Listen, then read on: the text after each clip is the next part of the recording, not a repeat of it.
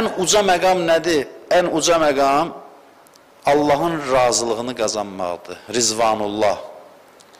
Riza məqamıdır. Allahın insandan razı olması ən uca məqamdır. İmam Cavad əleyhissalam buyurur ki, Salasun yəbluğnə bil-abd ridvanallah. Üç şey bəndəni razılıq məqamına, Allahın razılığına çatdırır. İstəyirsən Allah səndən razı olsun. Bu yaxında imamın şəhadətini qeyd elədi. Bu hədisi təbərrük kimi nəzər üzə çatdırıram. Deyir, istəyirsənsə Allah səndən razı olsun, üç şey var, üç vasitə. Üç vasitə, onlardan birincisi kəsrətul istiğfar, çoxlu üzrxahlıq eləmək. Davamlı şəkildə üzr istəmək, əstəğfirullah. Xəfzul canib və kəsrətus sədəqə, təvazökarlıq, bir də çoxlu sədəqə vermək. Allahın razılığını qazanmaq istəyirsənsə, çoxlu istiğfar elə. Yollar sadədir, qısadır, çətinləşdiririk. Allah razılığı təvazu halındadır, təvazökarlıq halındadır. Hər üç şey burada qeyd elədiyim insanı tüğyandan saxlayır, fikir verirsinizsə. Tüğyan eləməkdən saxlayır. Bir, çox üzr istəmək. İkincisi, təvazökarlıq halı ki, istiğfarın elə nəticəsidir. Adam çox üzrxahlıq eləyəndə təvazökar olur.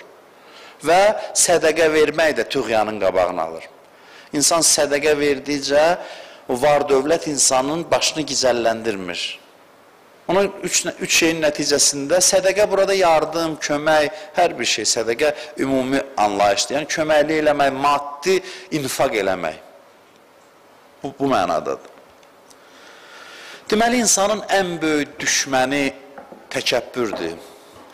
İnsanın inkişafının qarşısında ən böyük maniyə məğrurluqdur, təkəbbürlüdür, özündən razılıqdır.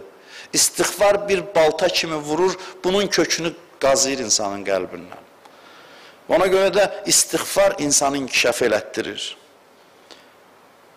Bir neçə dəqiqədə bir mövzuya işarə eləmək istəyirəm. O mövzu bundan ibarətdir ki, insanda təkəbbür yaradan amillər, insanı məğrur edən, insanı özündən razı edən amillər hansılardır? Məsələn, insan niyə fəqir olur, kasıb olur? Bizim çoxumuz ona görə kasıb oluruq ki, Allah bilir ki, zəngin olsaq yığışdıra bilməyəcək özümüzü. Ona görə. Allah bilir ki, biz çoxumuza hamıya aid deyil bu. Ümumiyyətlə, bir qaydanı hamıya tədbiq eləmək yanlışdır, bu bir mənalıdır. Bu qaydalar fərqli olur fərdlərlə. Amma ümumilikdə çox adamın yoxsulluğunun əsas səbəblərindən biri budur ki, zəngin olsa özünü yığışdıra bilməyəcək, Allah bilir. Ayağının altını görməyəcək. Ona görə elə onu o, o vəziyyətdə saxlayır. Quranda da ayələr var bu barədə. Təkəbbürdür, məğrurluqdur, çox xəbis xislətlərdir ki, qəlbə daxil oldusa insanın qəlbini viran, viran qoyur, ruhu qaraldır. Hansı amil bu hissi insanda yaradır? İnsanı məğrur edir, təkəbbür yaradır, arxayınlaşdırır. Hansı amil? Onun birinə toxunmaq istəyirəm, cəmi birinə. O amillərdən biri Allahın insana möhlət verməsi. Bu mövzuya çox diqqət etməyinizi xahiş edirəm. Allahın insana möhlət verməsi, Allahın insanın günahlarını örtməsi, Allahın səbri, rəhməti, helmi bu insanda arxayınlıq yarada bilər. Çox incə bir məqamdır bu.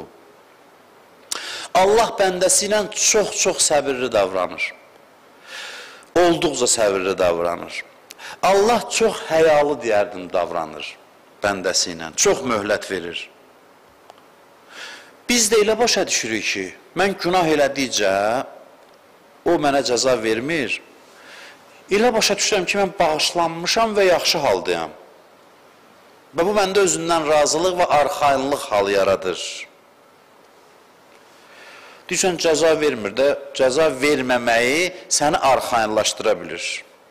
Amma bəzən belə də olur ki, Allah cəza vermir, vermir, vermir, üst-üstə qalanır, yığılır, qiyamətdə birdən açır ortaya qoyur. Belə də olur.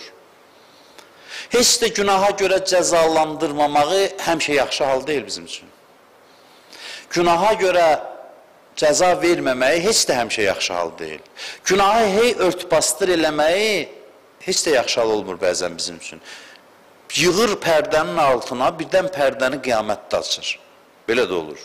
Birdən pərdəni açır, insan günahın nəticələrini görür, cəzasını görür, çirkinliklərini görür. Ona görə deyirlər, əməl dəftəri açılanda bəzi adamlar var ki, deyir ki, tez məni cəhənnəmə apar utandığından. Yəni, cəhənnəm odundan daha ağır olur o günahların üzərindən pərdələrin çəkilməsi. Qiyamətdə də həya çox olur adamda. İndi həyasız adamlar orada, orada çünki hər şey zuhur eləyəndə insan çox utanacaq. Çox həya eləyəcək. Hədislərdə var, Allah birini sevməyəndə günahdan sonra neymət verir ona. Günahdan sonra neymət verir, başını qatır. Əlbəttə bunun da istisnaları var. Bu qaydalar ümumi deyil. Amma bəzi hallarda günahdan sonra neymət gördünsə, günahdan sonra elə hey gördünsə sənə neymət yağışı yağır, biraz ehtiyatlı olmaq lazımdır. Deyirlər ki, günahdan sonra Allah insana bir xeyrxax iş nəsib edirsə, bu bağışlanmaq əlamətidir. Bir günah elədisə, sonra bir xeyir iş çıxartdı. Səbəb, yəni Allah kömək elədi ki, bu bir xeyir iş görsün, deməli Allah buna lütf eləyib. Amma günahdan sonra çox neymət yağdırması bəzən çox həyəcan təbili çalmağa əsas verir. İmam Sadiq əleyhissalam buyurur ki, fironlar cinayət edirdilər.